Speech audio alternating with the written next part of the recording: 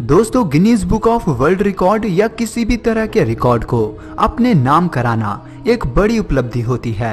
लोग विश्व रिकॉर्ड बनाने के लिए किसी भी हद तक जा सकते हैं और जब विश्व रिकॉर्ड बनाने के लिए आपको ऊंचाई का सामना करना पड़े तो मामला थोड़ा पेचीदा हो जाता है, क्योंकि ऊंचाई किसी की भी जान ले सकती है। इतनी ऊँची जगहों पर केवल एक गलती आपको मौत के मुँह में धकेल सकती है। और आज इस वीडियो में मैं आपको बताने वाला हूँ सात ऐसे ही बेहद खतरनाक और जानलेवा स्टंट के बारे में, जिन्हें देखकर आपके भी पैर कांपने लगेंगे। तो मैं हूँ आपका दोस्त दक्ष और आप देख रहे हैं amazing top five rock climbing Alex J Honnold एक अमेरिकन रॉक क्लाइंबर हैं, जिन्होंने अपनी पहली चढ़ाई योशे मीतेल कैप्टियन पर पूरी की थी। बत्तीस साल के एलेक्स ने इस 3000 फीट ऊँची पहाड़ी को केवल तीन घंटे और छप्पन मिनट में पार कर लिया था। वो भी बिना किसी रस्सी और सुरक्षा के। अगर आप इस पहाड़ी को देखें तो सच में ये किसी के भी होश उड़ाने के लिए काफ़ी है। और इस तरह से रॉक क्लाइंबिंग करना एक बेहद जानलेवा काम है, जिसमें हर साल कई लोग मारे भी जाते हैं। लेकिन यदि इंसान को एलेक्स की तरह अपने ऊपर भरोसा हो तो वो शांत मन से इस तरह की खतरनाक क्लाइंबिंग करने में भी महारत हासिल कर सकता है। इसकी ऑन दी एज दोस्तों, जो व्यक्ति इस वीडियो में स्की कर रहा है, उसने ये साबित कर दिया कि उसके हौसले स्टील जैसे मज़बूत हैं, जब उसने इस बेहद ऊँची पहाड़ी पर इसकी की थी। और आप देख सकते हैं कि ये ऊंचाई कितनी है अगर यहाँ से कोई व्यक्ति गिरे तो उसकी लाश भी मिल पाना मुश्किल है।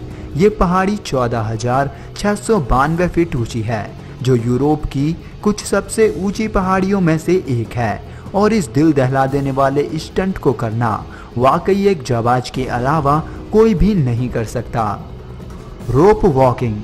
दोस्तों, रोप वॉकिंग आपने बहुत से सर्कस शो में देखी होगी, लेकिन इस तरह की खतरनाक और जानलेवा रोप वॉकिंग शायद आप ज़िंदगी में पहली बार देखें। ये वीडियो एक फ्रेंच मैन की है, जिसका नाम सेबेस्टियन माउंटेज है और उसने इस वीडियो को अपने फेसबुक पेज पर अपलोड किया था, जिसे देखकर किसी के भी पसीने छूट सकते हैं। उन्होंने दो इंच चौड़ी स्टील केबल पर बिना किसी सेफ्टी के इस दिल दहला देने वाले स्टंट को पूरा किया था। और बिना सेफ्टी केबल इस स्टंट को करने का मतलब है कि यदि वहाँ उनसे हल्की सी भी चूक होती तो वो सीधे हज़ारों फीट नीचे खाई में जा गिरते। Wing suit through narrow cave. Alexander Polli नाम के इस शख्स ने दुनिया में अपना दबदबा बनाने के लिए कुछ ऐसा किया, जिसे देखकर किसी के भी होश उड़ सकते हैं। अलेक्जेंडर ने इस स्टंट को करने के लिए एक ऐसी पहाड़ी को चुना, जो केवल दो मीटर चौड़ी थी, और उसे 250 किलोमीटर प्रति घंटे की रफ्तार से, उस दो मीटर चौड़ी दरार से निकलना था। ये स्टंट इसीलिए बेहद खतरनाक था, क्योंकि यहाँ अगर उनकी कैलकुलेशन में थोड़ी सी भी गलती होती तो उनका शरीर किसी चट्टान से जा टकराता और उनके चीथड़े उड़ जाते।